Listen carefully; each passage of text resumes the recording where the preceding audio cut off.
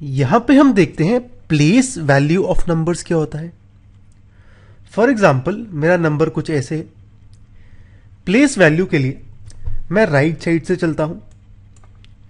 जो मेरा पहला डिजिट है, ये होगा मेरा यूनिट्स प्लेस सेकंड होगा टेंस प्लेस थर्ड होगा हंड्रेड्स और फोर्थ होगा थाउजेंड्स प्लेस लेकिन ये आता कैसे है? ये हमारा आया कहाँ से? और इसका मतलब क्या है? इसके लिए सपोज़ हमें ये नंबर को कुछ बोलना है तो मैं इसे कैसे बोलूँगा?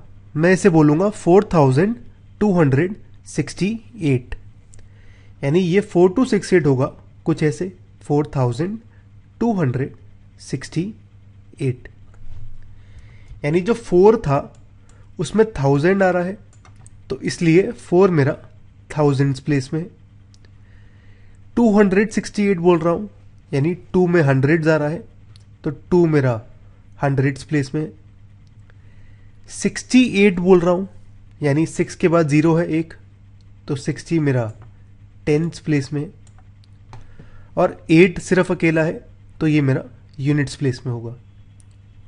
तो प्लेस वैल्यू कुछ ऐसे होता है। एक एग्ज़ाम्पल ले लेते हैं हम। सपोज़ मुझे बताना है सिक्स का प्लेस वैल्यू क्या है? फोर टू सिक्स एट में।